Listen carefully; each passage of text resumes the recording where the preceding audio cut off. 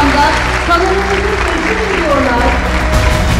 Türkiye'nin güçlü desteğiyle yaptığınız çalışmalar, yürüttüğünüz müzakere ve görüşmeler, yakın gelecekte Kuzey Kıbrıs Türk Cumhuriyeti'nin uluslararası toplumun bağımsız ve eşit bir üyesi olarak hak ettiği yer almasını sağlayacaktır.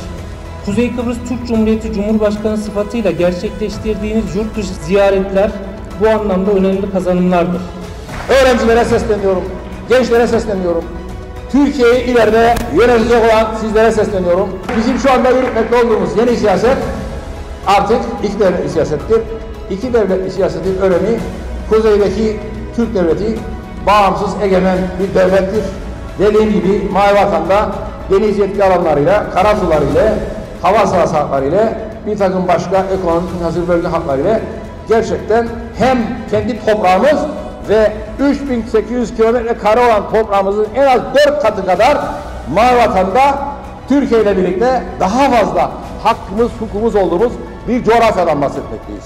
Kıbrıs'ta bu anlayışla bütün bu güvenlik ve milli meselelerle meseleye böyle baktığımızda taviz vermemiz söz konusu olamaz. Tüm gençlere başarılıyorum. Sizlere bir kez daha yolunuz açık olsun diyorum. Ve hepinize buradan bir kez daha en derin samimi duygularımla selamlarımı ve muhabbetlerimi iletiyorum. Tanık sağlıcakla.